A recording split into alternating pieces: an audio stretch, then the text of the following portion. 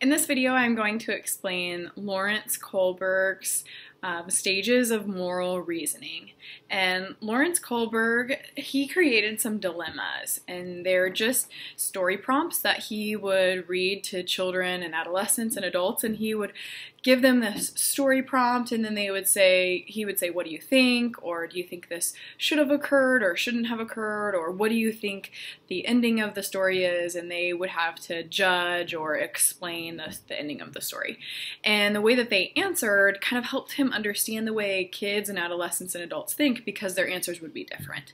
And so he developed, from those story prompts, he developed three stages of moral reasoning in which he said, when you're in this age range, you typically think about right and wrong this way. And whenever you develop into an adolescent, you typically think about right and wrong this way. And so his stages were pre conventional, conventional and then post conventional.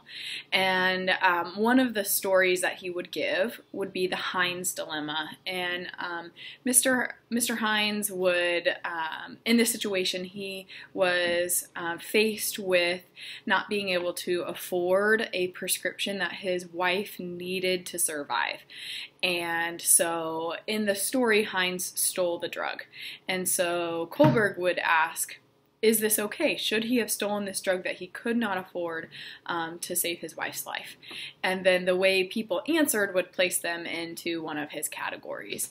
And so um, the three stages pre conventional, someone in a pre conventional stage, their thoughts of moral reasoning and understanding would be in self interest. So, how does it affect me? Um, kind of based on pleasure or um, punishment? How how am i affected? And then i would answer in a way that it would it would affect me the most. So if someone in in this pre-conventional stage was thinking about heinz they would say oh gosh heinz should not steal because he's going to go to prison. And so they're focused on um, the reward punishment um, personal self-interest idea. Um, so then moving into an adolescent stage they're probably going to focus primarily on um, rules. They're going to understand rules and they're going to think about right and wrong based in rules. So they might answer um, this dilemma by saying, well, stealing is against the law, and so Heinz shouldn't have stolen, and that was wrong. And so their idea of right and wrong is really focused in law and order um, and social approval and, and, and law oriented. And then if someone would have answered um, with this this thought process that bases right and wrong something higher than laws, like there's these ethical principles that surpass uh, written rule and law, then they would have been put into this post conventional idea that there are values that are higher than laws, and laws can be wrong. There's right and wrong is above a law.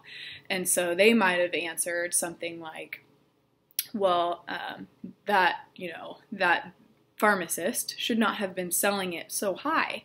And um, his wife was more valuable than this person's income or something like that. And they would have been, they would have seen this law as um, maybe uh, below something higher as uh, humans' life and um, there's this ethical principle that is based on something higher than law and order and so um, those are the theory that that is um, Kohlberg's idea of moral reasoning that you are going to fall into a different category um, based on how you answer one of these prompts. And typically, the younger you are, the lower you might fall, um, maybe in the pre conventional, um, or if you're you know, around um, childhood, adolescence, you might fall in this um, idea of rule oriented.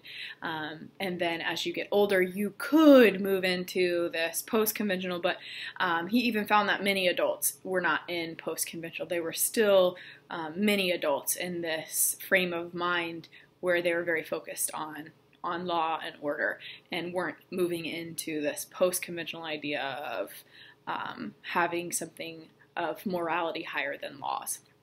Okay, so that is Lawrence Kohlberg's idea of moral reasoning and how we develop our understanding of morality.